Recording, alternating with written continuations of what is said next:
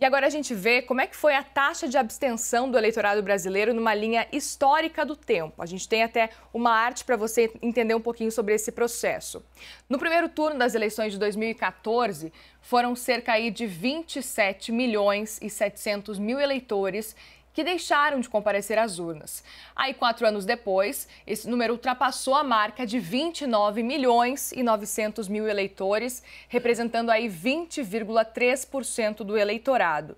Agora, em 2022, esse número cresceu para 20,9%.